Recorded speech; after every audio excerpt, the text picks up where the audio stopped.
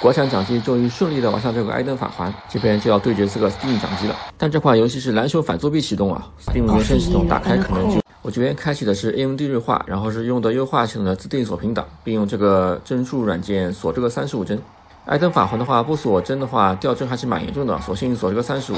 整体来说流畅又稳定。这边演示的设备是 GPT 零三，是去年四月份发售的一款幺幺六芯片的掌机。这边系统是野蛮优化系统，这个系统呢是我自己折腾的，主要是为了节能啊，节能然后不卡顿，并且附带了像锐化软件啊、锁帧软件啊、看帧数的这种，主要是给玩家带来个更好的体验啊。Steam Deck 这边的话，因为有蓝熊反作弊啊，原生系统不一定能运行，不过也没关系啊，二十六号媒体评测就解禁了，能不能玩马上就能知道了。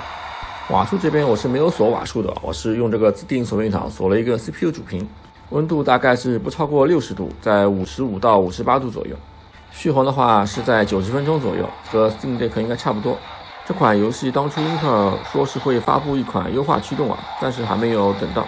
游戏的话有一点点小 bug，就是会有彩色的点，但没有发生闪退和一个不能运行的情况。这边还是强烈推荐大家购买的，体验起来还是很棒的。这边同时会关注 Steam Deck 的运行情况，如果有媒体评测的话，我会把。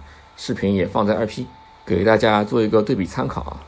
我这边个人预计 Steam Deck 运行情况不一定那么好，因为这个游戏还是蛮吃主屏的。